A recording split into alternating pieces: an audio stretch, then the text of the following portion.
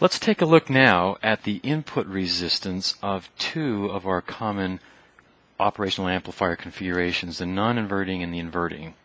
You'll recall from our discussion of just the generic amplifiers that in general we have a source, a source with a source resistor that we want to amplify and that then is connected to the input resistance and the output, if this is Vn, the output is some scaled A V0 times Vn. So between the source resistance of the source and the input, input resistance of the amplifier, we've got a voltage divider. And in order to main, make it so that this voltage here is a significant portion of this, we want the input resistance here to be significantly larger than the source resistance. In fact, ideally, this input resistance would be infinite. So, what we want to look at is what are the input resistances that these sources see in both the non-inverting and the inverting configuration.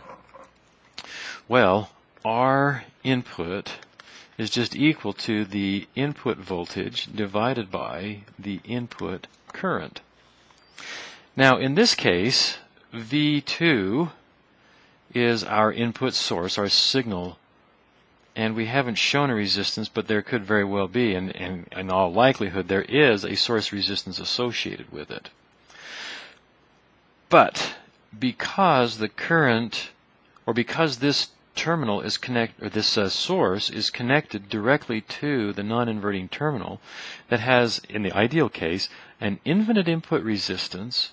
The current going in I in is going to equal 0 so for the non-inverting configuration we have Rn is equal to Vn which is just V2 divided by I in which is 0 so the input resistance for the non-inverting amplifier is infinite.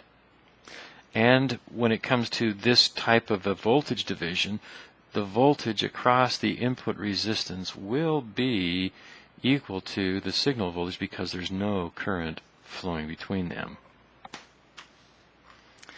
Now, let's determine the input resistance for the inverting amplifier. We're going to see that it's not nearly as satisfying as this infinite resistance on the non-inverting. Once again, we have the voltage V in, which in this case is V1, and we have a current flowing from the source into the amplifier, calling that I in. But because this doesn't go directly and solely into the inverting terminal, because there's this path, I in is not zero. Rather, I in is equal to V in or V1, if you will, divided by R1. So Rn is equal to the input voltage, which is V1, divided by In. Well, this then is equal to V1 divided by In, which is V1 divided by R1. Well, dividing by a fraction, you invert and multiply, the V1s cancel. And we see that the input resistance is simply R1, whatever the value of that resistor is there. Well, what's the problem with that? In order to make the input resistance to the inverting amplifier large, where the input resistance is just R1, we'd have to make R1 large. If we wanted to say to be on the order of a mega ohm, we'd have to make R1 be 1 mega ohm. Well, that in and of itself isn't a problem.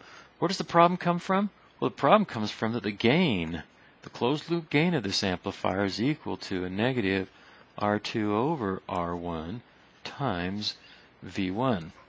So if we want to get any gain at all out of this thing, R2 has got to be bigger than R1. Well, if R1 is 1 mega ohm and we want a gain of 5, R2 is going to have to be 5 mega ohms.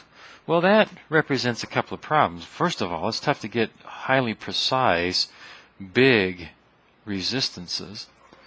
But the other problem is that when we start having resistors around here on the order of mega ohms, the current flowing through here is so small. After all, that's what we were trying to get it to be. We wanted that current to be small, so we made these resistances large. The problem is, as we have said before, the current going into the terminals of the op amp is really small, but it's not zero. In fact, the currents coming into the op amp might be on the order of a few tenths of a microamp. Now, if these are mega ohm resistances, this current here is also going to be on the order of microamps or tenths of microamps.